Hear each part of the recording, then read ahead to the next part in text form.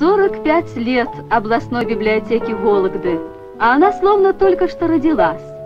Библиотека переехала в новое здание.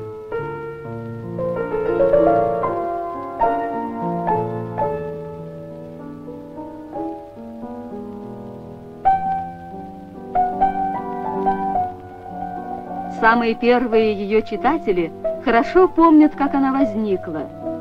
Голод, разруха, гражданская война, а молодая Советская Республика создает библиотеки для народа.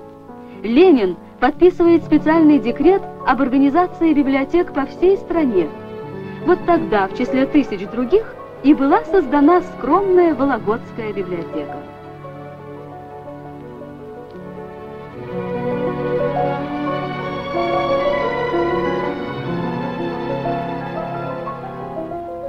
А теперь к услугам читателей.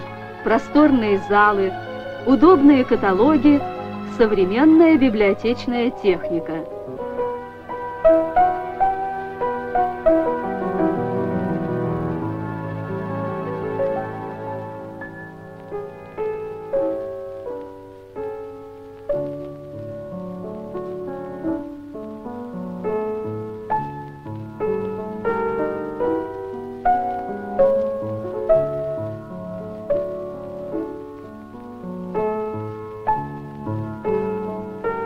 библиотека носит имя Ивана Бабушкина, пламенного революционера, верного ленинца.